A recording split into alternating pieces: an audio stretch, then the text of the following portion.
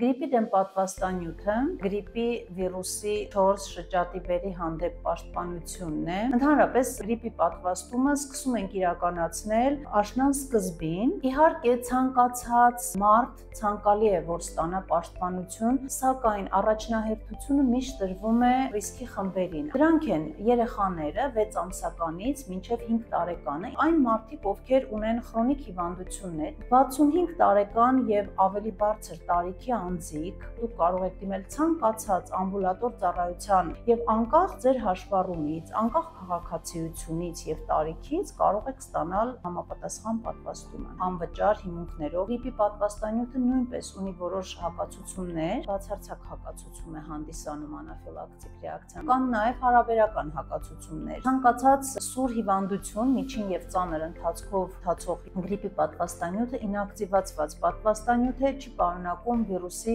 կենթանի մասնիկներ, շատ հեշտությամբ է ընդունվում օրգանիզմի կողմից, սակայն կարող է ունենալ նաև որոշ հետպատվաստումային ռեակցիաներ։ Տեղային ռեակցիաները կարող են հանդես գալ ներարկման տեղում կարմրության կամ որոշ այտուցվածության ձևով, իսկ ընդհանուր ռեակցիաները հիմնականում դա ջերմության բարձրացումն է, մի քիչ թուլություն, գլխացավեր, մի վախեցեք պատվաստվելուց։ Հիշեք մի կարևոր բան, որ պատվաստումները կյանքեր են փրկում։